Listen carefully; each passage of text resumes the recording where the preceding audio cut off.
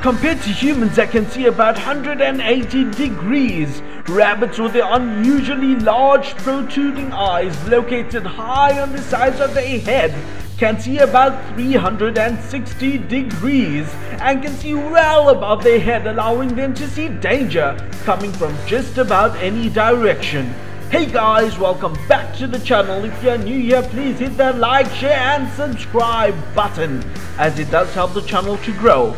Today's topic is easily one of the most misunderstood and therefore most abandoned pets. Just like humans, rabbits are extremely social creatures that crave companionship, so it is important to interact with your bunny and incorporate them into your life.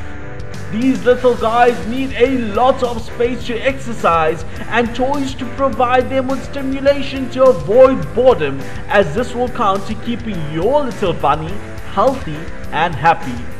Because rabbits are prey animals, they tend to hide if they are sick like an expert. Thus, you should always keep a really close eye on your rabbit so that you are never ever surprised. Just like people, rabbits' nails grow constantly and might need a trim every few weeks. But unlike humans, their teeth grow constantly as well. Can you imagine if people's teeth grew constantly? Like, oh my god, I have so many questions. How would we talk? What would we eat? Oh my god, what were we talking about? Right, right, right, rabbits. When it comes to diet, Bugs Bunny has set the worst example of what to feed your little baby.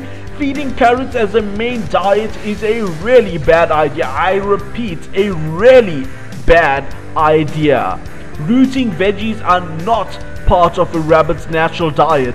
Carrots are high in sugar and should only be fed occasionally in small amounts. Fresh hay actually makes up the bulk of your rabbit's diet. Fresh hay should be freely fed and thus providing your rabbit with hay whenever they need it.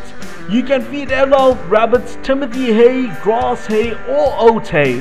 Using hay feeders is especially helpful because it keeps your hay dry, clean and accessible all the time. A fiber-rich pellet also makes up an important part of your rabbit's diet when they are younger, up to 6 months, they should have unlimited access to pellets.